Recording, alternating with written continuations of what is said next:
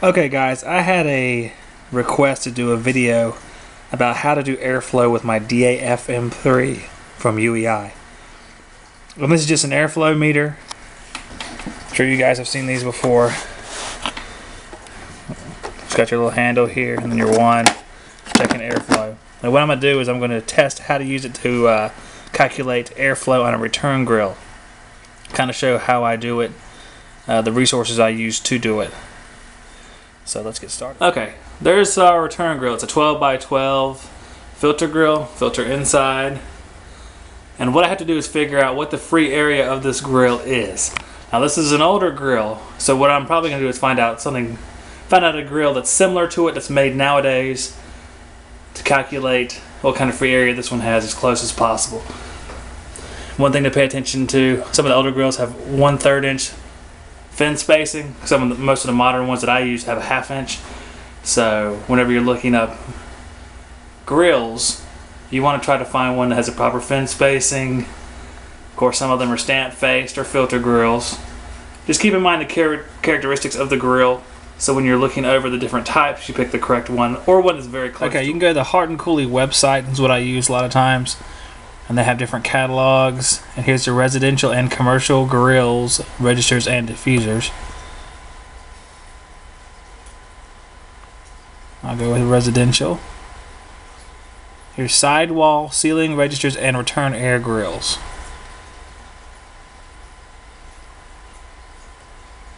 I have the benefit of already knowing which one I have because I've looked through here already. It's a 659.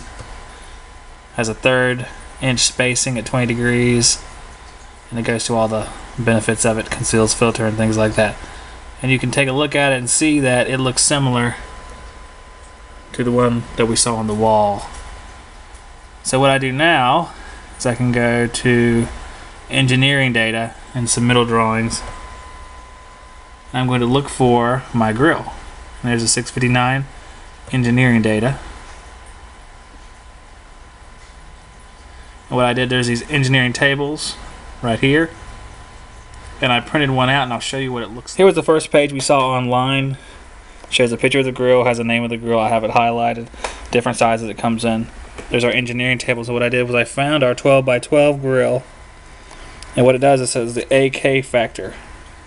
AK factor is the free area.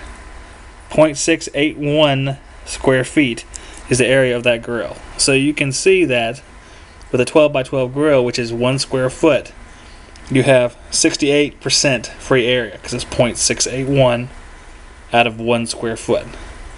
So when we figure up our square inches for that grill, we'll be going 12 times 12 is 144, then multiplying it by the 0.681 to get our square inches for the airflow device.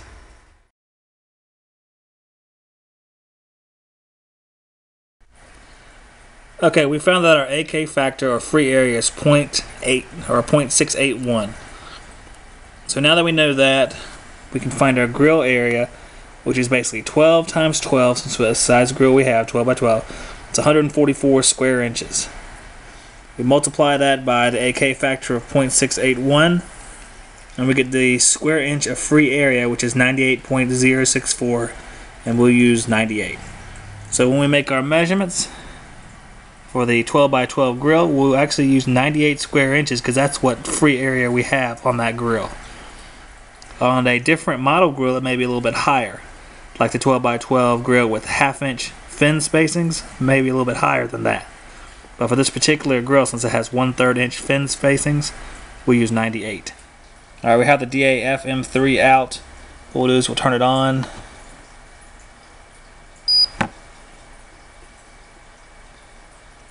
we can hit mode. Actually, we'll hit mode and hold it down for five seconds.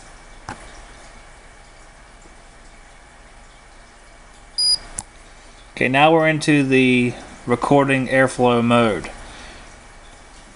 Right now, we see our square inches if we're doing length times width. But we're going to do area. So we go to where it says area at the bottom.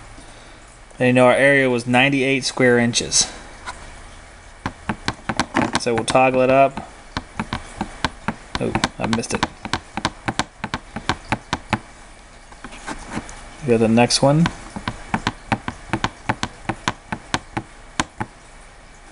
And then to the last one. We have 98 square inches. And then when we hit enter, it'll count down from 20 and then it will start making the measurements. I'm not going to make it to the grill in time, so I'm going to stop this process and restart it. This is my Focus Pro 6000 I have at my house.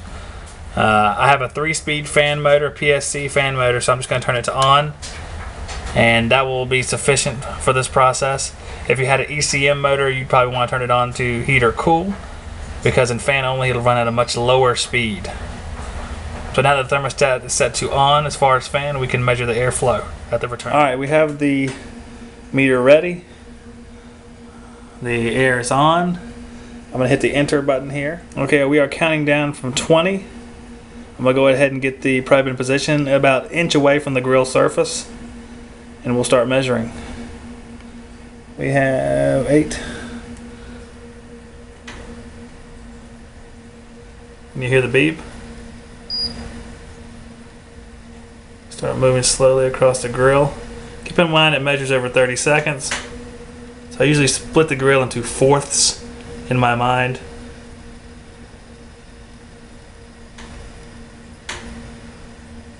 And this will be a little bit easier without the camera.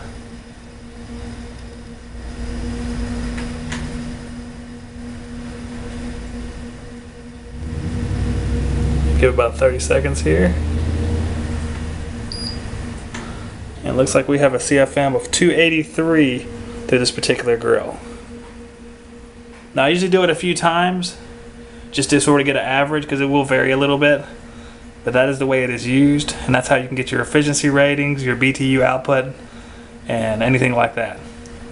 And that is how you get the airflow with the DAFM3 from UEI.